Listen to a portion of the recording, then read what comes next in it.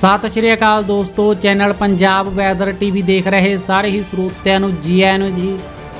ਇਸ ਵੇਲੇ ਦੀ ਵੱਡੀ ਖਬਰ ਨਿਕਲ ਕੇ ਸਾਹਮਣੇ ਆ ਰਹੀ ਹੈ ਜੀ, ਪੰਜਾਬੀਆਂ ਨੂੰ ਮਿਲੇਗੀ ਵੱਡੀ ਰਾਹਤ, ਇੰਨੀ ਸਸਤੀ ਹੋਵੇਗੀ ਬਿਜਲੀ ਦੇ ਘੱਟ। ਆਉਣਗੇ ਬਿੱਲ, ਪੂਰੀ ਵੱਡੀ ਖਬਰ ਦੋਸਤੋ, ਵੀਡੀਓ ਨੂੰ ਪੂਰੀ ਅੰਤ ਤੱਕ ਦੇਖ ਲਿਓ ਤੁਹਾਨੂੰ।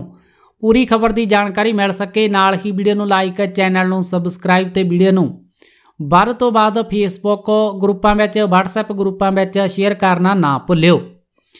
ਅਗਲੇ ਸਾਲ ਪੰਜਾਬ ਵਿਧਾਨ ਸਭਾ ਚੋਣਾਂ ਹੋਣ ਜਾ ਰਹੀਆਂ ਹਨ ਤੇ ਇਸ ਲਈ ਹੁਣ ਪੰਜਾਬ ਸਰਕਾਰ ਵੱਲੋਂ ਲੋਕਾਂ ਨੂੰ ਰਾਹਤ ਦੇਣ ਦਾ ਐਲਾਨ ਕੀਤਾ ਜਾ ਰਿਹਾ ਤੇ ਇਸੇ ਤਹਿਤ ਸੂਬੇ ਦੇ ਵਿੱਚ ਬਿਜਲੀ ਦਰਾਂ ਘਟਾਉਣ ਦੀ ਚਰਚਾ ਚੱਲ ਰਹੀ ਹੈ ਤੇ ਮੁੱਖ ਮੰਤਰੀ ਕੈਪਟਨ ਅਮਰਿੰਦਰ ਸਿੰਘ ਦੀ ਸਰਕਾਰ ਤੇ ਉਹਨਾਂ ਦੀ ਸੱਤਾਧਾਰੀ ਕਾਂਗਰਸ ਪਾਰਟੀ ਨੂੰ ਇਹ ਭਲੀ ਭਾਂਤ ਪਤਾ ਹੈ ਕਿ ਅਸੈਂਬਲੀ ਚੋਣਾਂ ਦੇ ਵਿੱਚ ਮਹਿੰਗੀ ਬਿਜਲੀ ਦਾ ਮੁੱਦਾ ਪੱਕ ਸਕਦਾ ਤੇ ਵਿਰੋਧੀ ਧਿਰ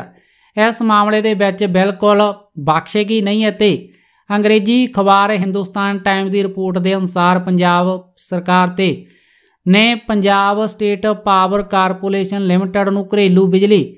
ਖਪਤਕਾਰਾਂ ਦੀ ਦਰ ਘਟਾਉਣ ਲਈ ਆਖ ਦਿੱਤਾ ਹੈ ਤੇ ਸੂਤਰਾਂ ਦੇ ਅਨੁਸਾਰ ਇਹ ਦਰਾਂ 32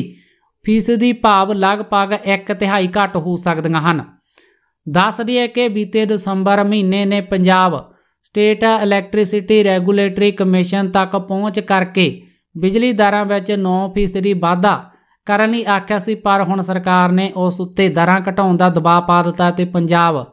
ਕੈਬਨਿਟ ਦੀ ਤਾਜ਼ਾ ਮੀਟਿੰਗ ਦੇ ਦੌਰਾਨ ਮੰਤਰੀਆਂ ਨੇ ਸੂਬੇ ਵਿੱਚ ਵੱਧ ਬਿਜਲੀ ਦਰਾਂ ਦੇ ਉੱਤੇ ਇਤਰਾਜ਼ ਪ੍ਰਗਟਾਇਆ ਹੈ ਤੇ ਵਿਰੋਧੀ